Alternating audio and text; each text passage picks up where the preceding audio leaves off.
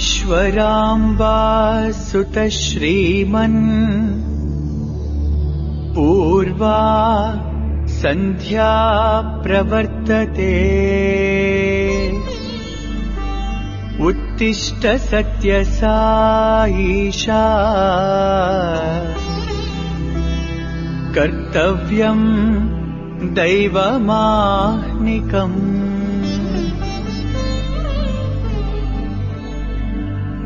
उत्तिष्ठोत्तिष्ठ पर्तीशा उत्तिष्ठ जगतीपते उत्तिष्ठ करुणा पूर्णा लोकमङ्गलसिद्धये।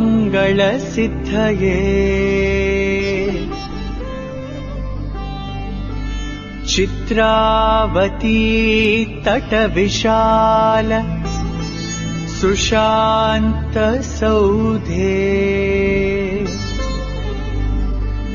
तिष्ठन्ति सेवकजनास्तव दर्शनार्थम्।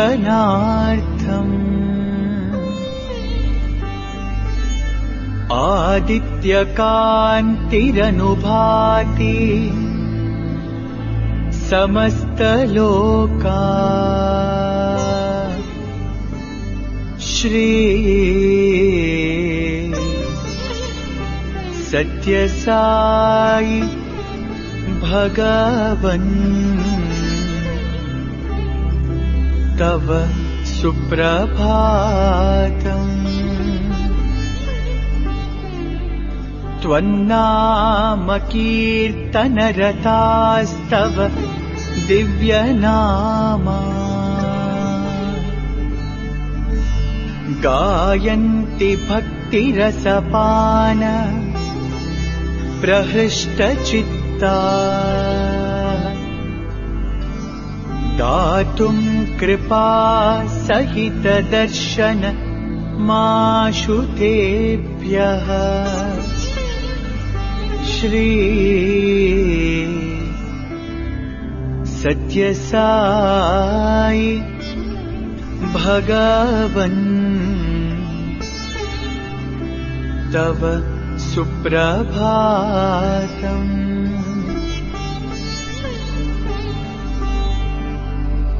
आदाय दिव्यकुसुमाणि मनोहराणि। श्रीपादपूजनविधिम् भवदङ्ग्रिमूले कर्तृम् महोत्सुकतया प्रविशन्ति भक्ता। श्री सत्यसाई भगवन् तव सुप्रभातम् देशान्तरागतबुधास्तव दिव्यमूर्तिम्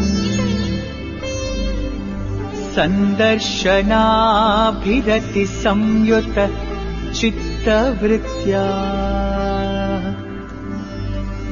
वेदोक्तमन्त्रपठनेन लसन्त्यजस्रम् श्री सत्यसाई भगवन्। तव सुप्रभातम्। श्रुत्वा तवाद्भुतचरित्रमखण्डकीर्तिम् व्याप्ताम् दिगन्तरविशाल धरातलेऽस्मिन्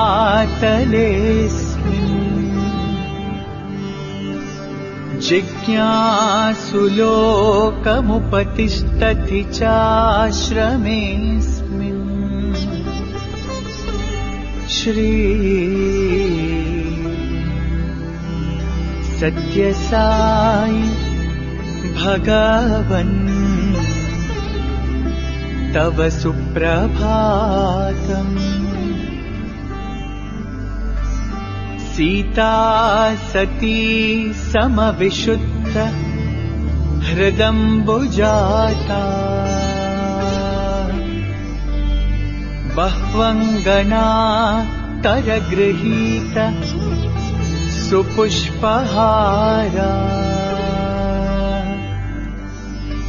स्तुन्वन्ति दिव्यनुतिभिः फणिभूषणम् श्री सत्यसाई भगवन् तव सुप्रभातम् सुप्रभातमिदम् पुण्यम्। ये पठन्ति दिने दिने। ते विशन्ति परन्धामा।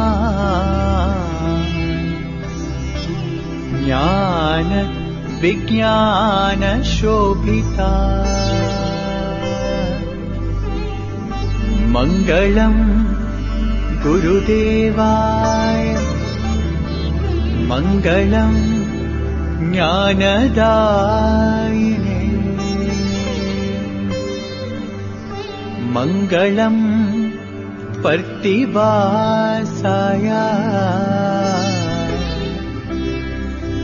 मङ्गलम् सत्यसायिने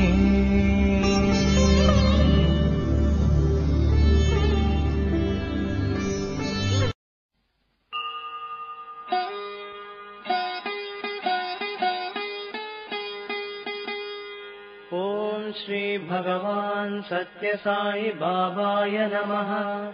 ॐ श्री साई सत्यस्वरूपाय नमः। ॐ श्री साई सत्यधर्मपरायणाय नमः। ॐ श्री साई वरदाय नमः। ॐ श्री साई सत्पुरुषाय नमः। ॐ श्री साई सत्यगुणात्मने नमः ॐ श्री साई साधुवर्धनाय नमः। ॐ श्री साई साधुजनपोषणाय नमः। ॐ श्री साई सर्वज्ञाय नमः। ॐ श्री साई सर्वजनप्रियाय नमः।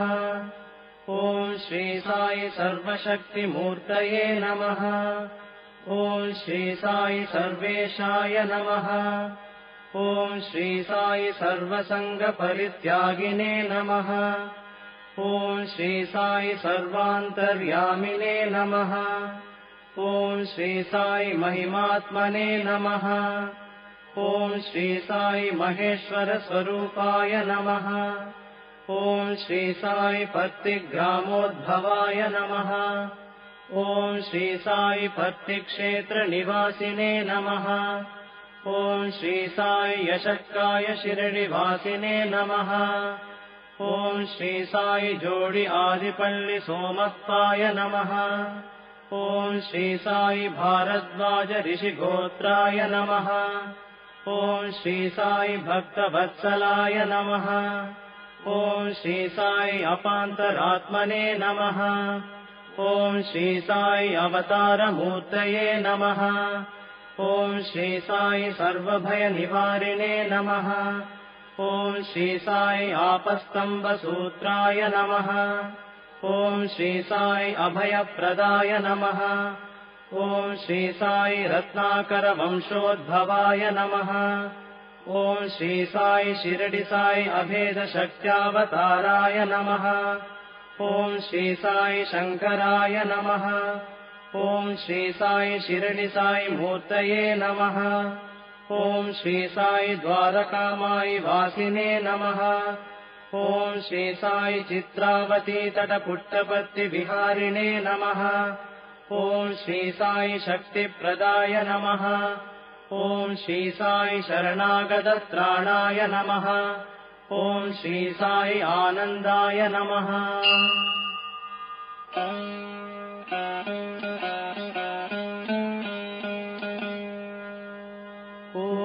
श्री साई आनन्ददाय नमः। ॐ श्री साई आतत्राणपरायणाय नमः। ॐ श्री साई अनाथनाथाय नमः। ॐ श्री साई असहाय सहायाय नमः। ॐ श्री साई लोकबान्धवाय नमः। ॐ श्री साई लोकरक्षापरायणाय नमः ॐ श्री साई लोकनाथाय नमः। ॐ श्री साई दीनजनपोषणाय नमः।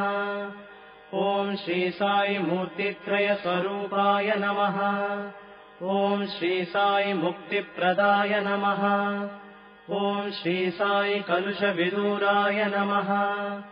ॐ श्री साई करुणाकराय नमः। ॐ श्री साई सर्वाधाराय नमः ॐ श्री साई सर्वहृद्वासिने नमः। ॐ श्री साई सर्वपुण्यफलप्रदाय नमः। ॐ श्री साई सर्वपापक्षयकराय नमः। ॐ श्री साई सर्वरोगनिवारिणे नमः। ॐ श्री साई सर्वबाधहराय नमः। ॐ श्री साई अनन्तनुतकर्तृणे नमः ॐ श्री साई आदिपुरुषाय नमः। ॐ श्री साई आदिशक्तये नमः। ॐ श्री साई अपरूपशक्तिने नमः। ॐ श्री साई अव्यक्तरूपिणे नमः। ॐ श्री साई कामक्रोधध्वंसिने नमः। ॐ श्री साई कनकाम्बरधारिणे नमः ॐ श्री साई अद्भुतचर्याय नमः। ॐ श्री साई आपद्बान्धवाय नमः। ॐ श्री साई प्रेमात्मने नमः। ॐ श्री साई प्रेममूर्तये नमः। ॐ श्री साई प्रेमप्रदाय नमः। ॐ श्री साई प्रियाय नमः। ॐ श्री साई भक्तप्रियाय नमः श्री साई भक्तमन्दाराय नमः। ॐ श्री साई भक्तजनहृदयविहाराय नमः। ॐ श्री साई भक्तजनहृदयालयाय नमः। ॐ श्री साई भक्तपराधीनाय नमः।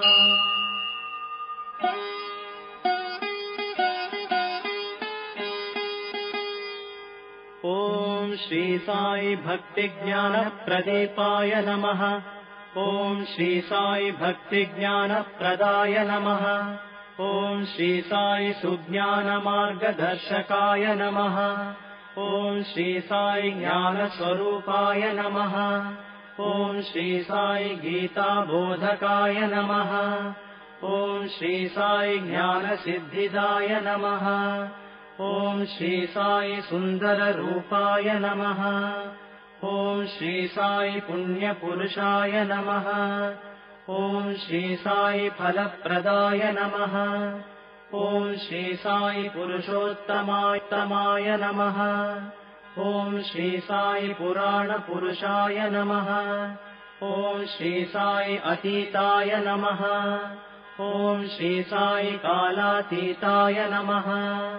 ॐ श्री साई सिद्धिरूपाय नमः ॐ श्री साई सिद्धसङ्कल्पाय नमः। ॐ श्री साई आरोग्यप्रदाय नमः। ॐ श्री साई अन्नवस्त्रदाय नमः। ॐ श्री साई संसारदुःखक्षयकराय नमः। ॐ श्री साई सर्वाभीष्टप्रदाय नमः। ॐ श्री साई कल्याणगुणाय नमः ॐ श्री साई कर्मध्वंसिने नमः। ॐ श्री साई साधुमानसशोभिताय नमः। ॐ श्री साई सर्वमतसम्मताय नमः।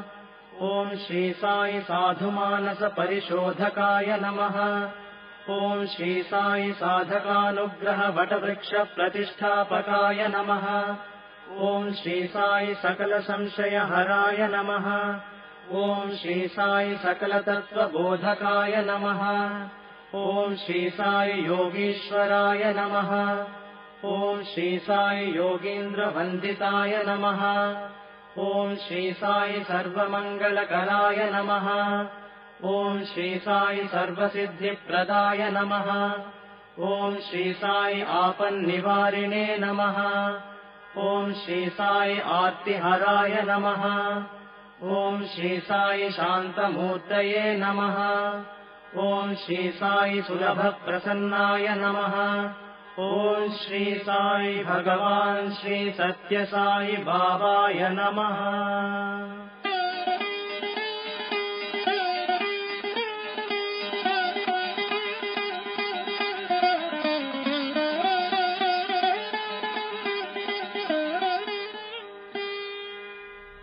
ओम श्री साई राम। भगवान बाबा के पावन चरण कमलों में कोटि कोटि प्रणाम। और आप सभी के हृदय निवासी भगवान को मेरा सादर सप्रेम नमन। आइए अब हम ज्योति ध्यान की प्रक्रिया प्रारंभ करते हैं। सर्वप्रथम सीधे बैठ जाएँ, सुखासन पद्मासन अथवा कुर्सी पर सीधे बैठें। ध्यान रखें, कमर में कोई झुकाव न हो। दोनों हाथ घुटनों पर चिन मुद्रा में रखें। आँखें बंद करके गहरा श्वास लें।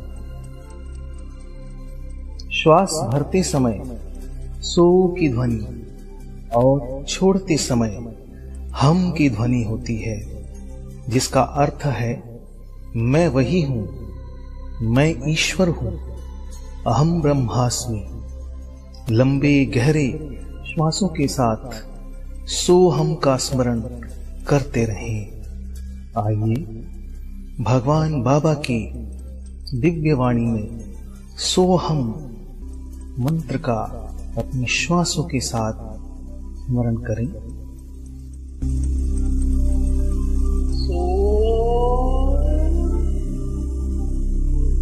Oh.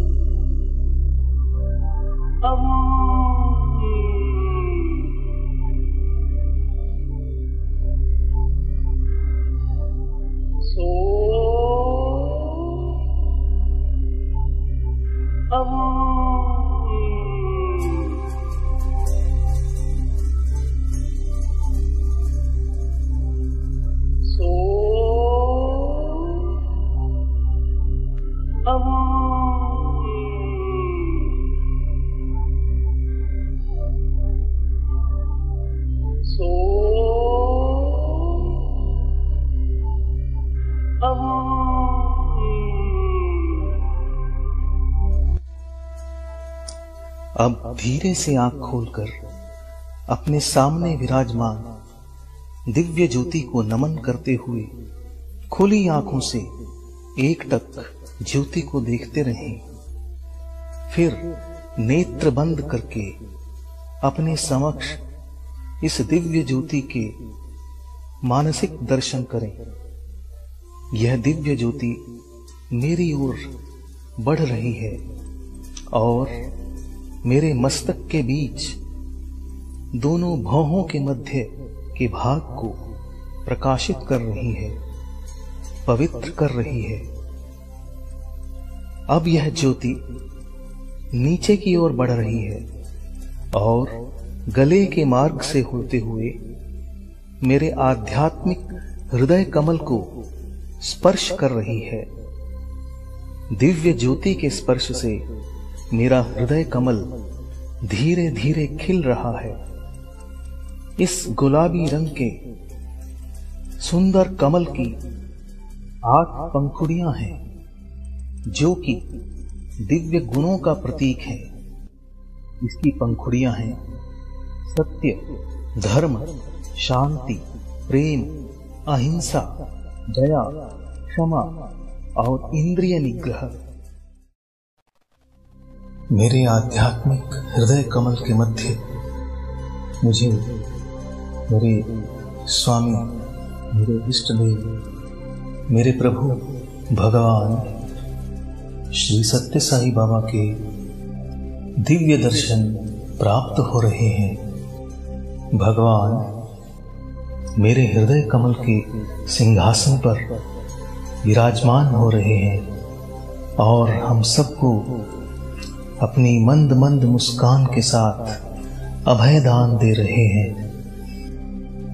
परम ज्योति स्वरूप भगवान सदैव मेरे हृदय में निवास करते हैं।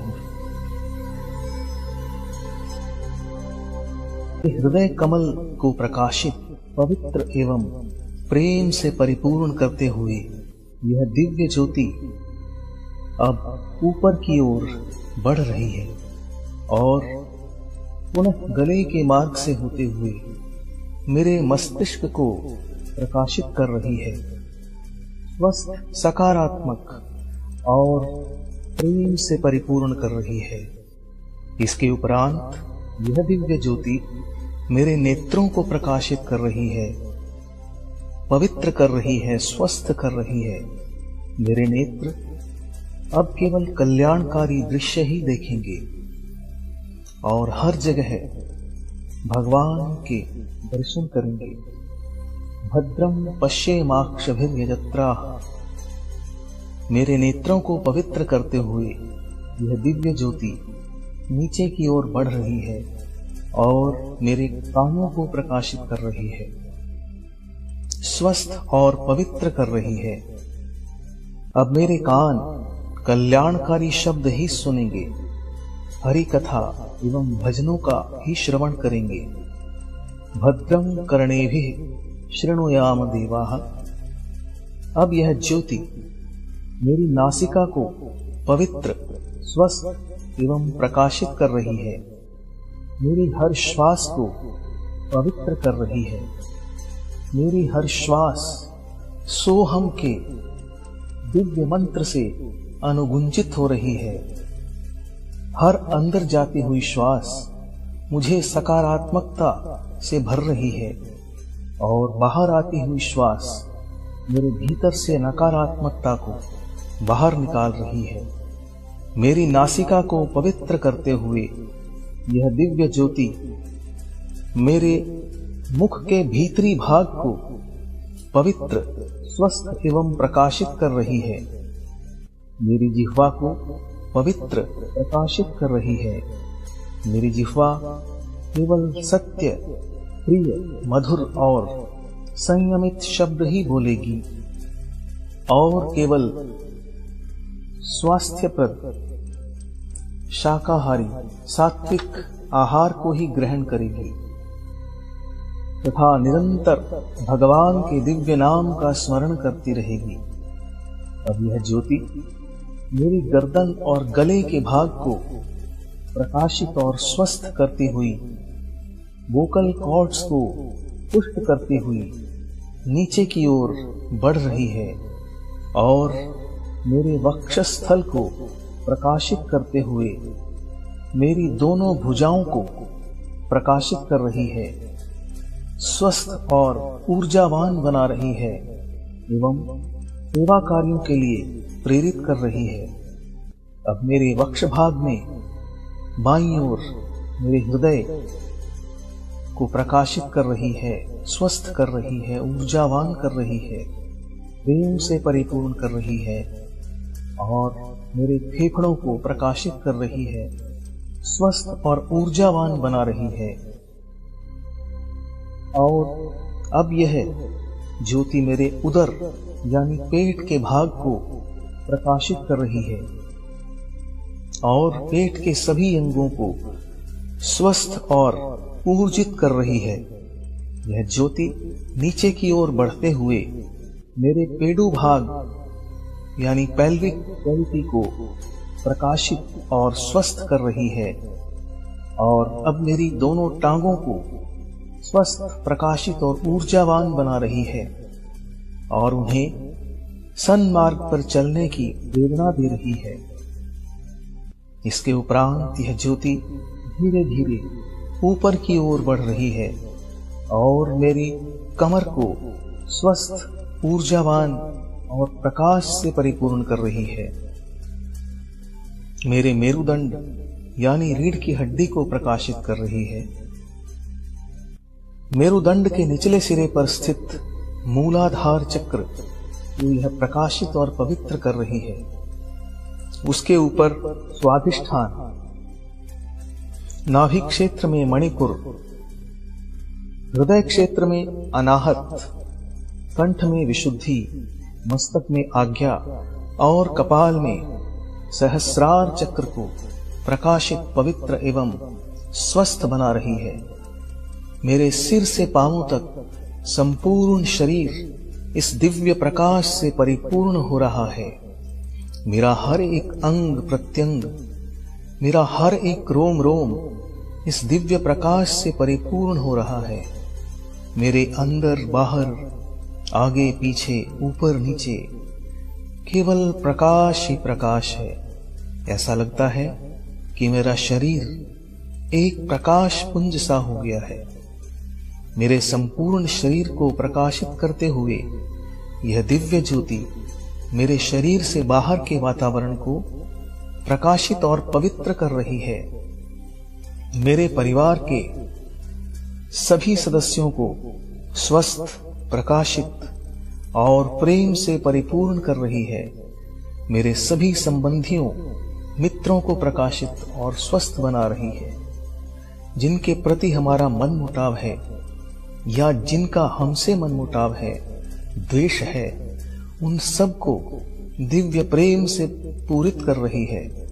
और आपसी प्रेम सामंजस्य, सहयोग को बढ़ा रही है।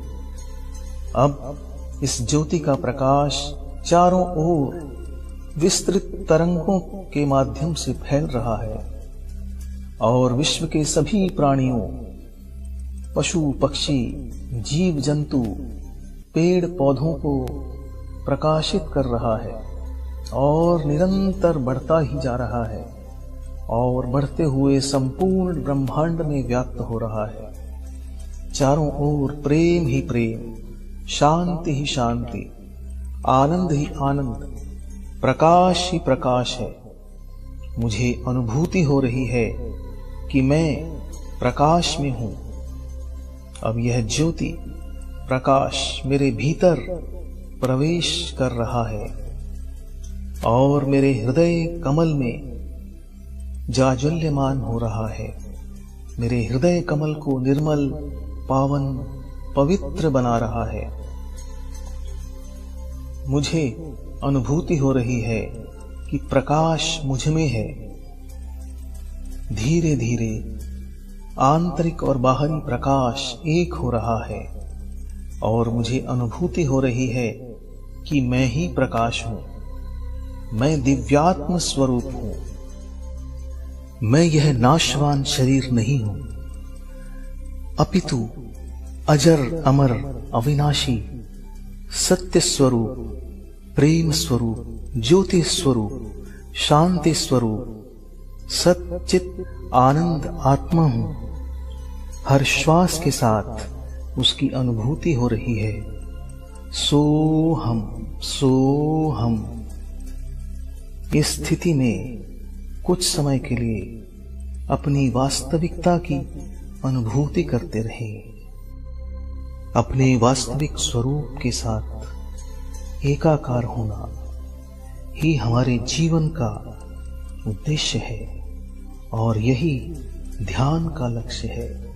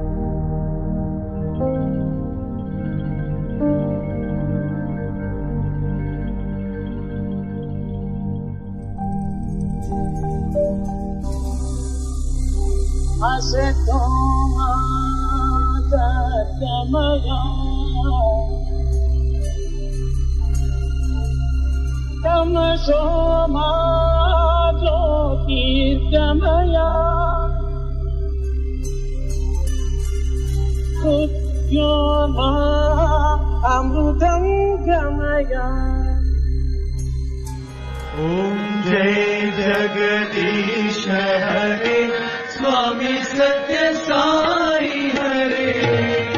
भक्त जगार भक्त जया महेश्वरा। ओम जय जगत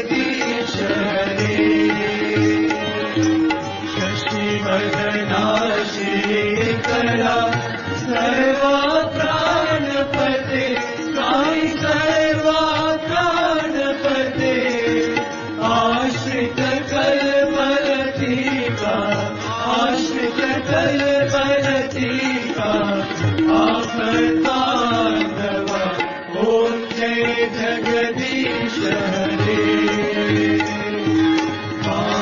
पिता गुरुदेव हरिया